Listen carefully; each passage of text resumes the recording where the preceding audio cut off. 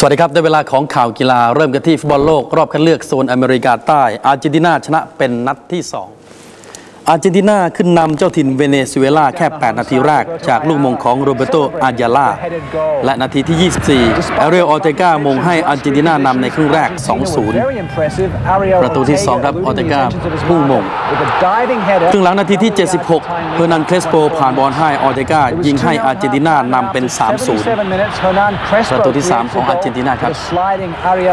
และนาทีที่ 81 คราวนี้เครสโปโชว์ลีลาหลบกองหลัง และผู้รักษาประตูเวเนซุเอลา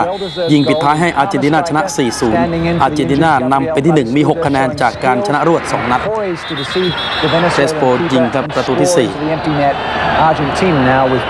อีกคู่บราซิลพบกับเอกวาดอร์ เอกวาดอร์ซึ่งเป็นทีมเยือนได้ประตูนำไปก่อนในนาทีที่ 12 จากลูกชิปอันสวยงามของอเล็กซ์อาคิวนาก้า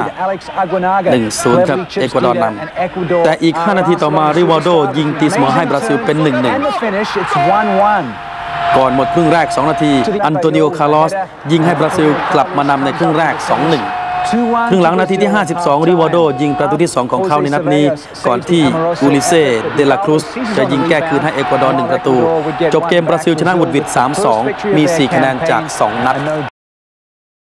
ฟุตบอลนัดกระชับมิตรเมื่อคืนที่ผ่านมานะครับ ฝรั่งเศสเกือบแพ้ในสนามของตัวเอง ฝรั่งเศสแชมป์โลกเล่นในสนามสตาดเดอฟรองซ์ พบกับสโลวีเนีย จบครึ่งแรกสโลวีเนียนำไปก่อน 2-0 จากการทำประตูของเซลโกมิลิโนวิชนาทีที่ 3 และซาโซอุโดวิชนาทีที่ 9 ครึ่งหลังฝรั่งเศสโหมบุกหนัก นาทีที่ 62 ดาวิดเทรเซเก้ทำประตูให้ฝรั่งเศสตีตื้นมาเป็น 1 ต่อ 2 นาทีที่ 78 ฝรั่งเศสได้ประตูตีเสมอจากการโหม่งของโลรองต์บลองก์ เกมท่าจะจบลงด้วยการเสมอกันแต่ในช่วงทดเวลาบาดเจ็บเทรเซเก้ทำประตูที่ 2 ในนัดนี้ และเป็นประตูชนะให้ฝรั่งเศสชนะไป 3-2 อีกคู่เยอรมันเจ้าถิ่นพบกับสวิตเซอร์แลนด์ครึ่งแรกสวิตเซอร์แลนด์นำไปก่อน 1-0 จากฮาคารยาคิน ในนาทีที่ 33 ครึ่งหลังเยอรมันบุกหนัก และก่อนหมดเวลา 6 นาทีอูล์ฟเคียร์สเทนที่ถูกเปลี่ยนตัวลงมาเล่นในครึ่งหลัง ตีเสมอให้เยอรมันได้สำเร็จหมดเวลาเสมอกัน 1-1ส่วนคู่เจ้าภาพร่วมฟุตบอลโลกปี